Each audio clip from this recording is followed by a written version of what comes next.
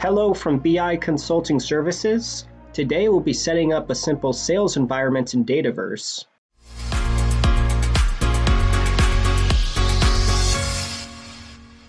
We'll begin by clicking New on the Environments tab and naming our environment Sales.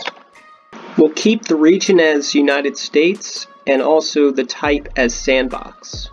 Once done, we'll go to make.powerapps.com and select environment at the top. Once we've done that, we'll click on sales at the bottom. We'll make the display name and the name sales and select the default publisher and then hit create. Next, we'll create a data flow. We'll click the back arrow, click on more, and then click data flows. Once there, we'll click on New Data Flow and name the flow Sales Import. After naming the flow, we'll click Create and then select Excel Workbook. Next, we'll click Upload File and select our Sales Table Excel file. After we've done that, we'll select our sheet and then click Transform Data.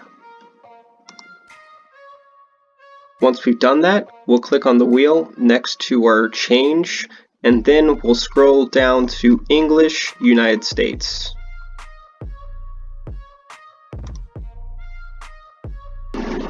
After we've done that, we'll click Next.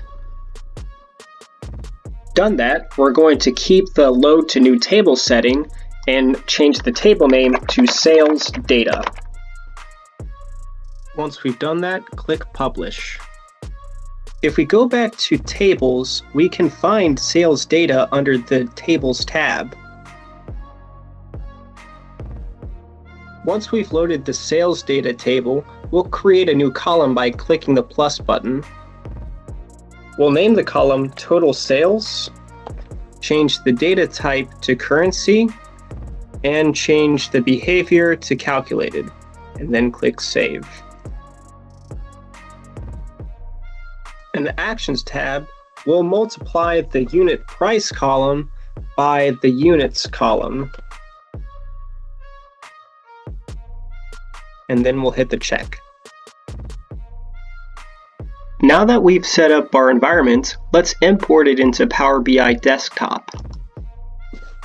After entering our credentials if necessary, we'll click on Sales and select our sales data table.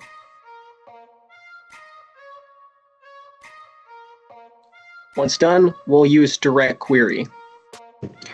With Direct Query enabled, we can get our data in Power BI Desktop in real time from Dataverse. Now let's create some visuals for our data.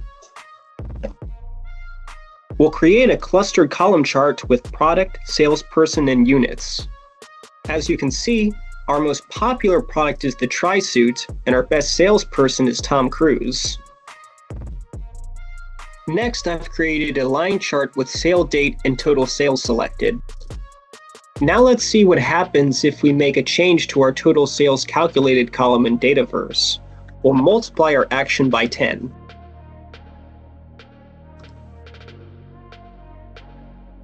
When we click refresh, the line chart updates because of our change in Dataverse. As you can see, we now have a functioning sales environment connected to Power BI Desktop. Thank you for watching from BI Consulting Services.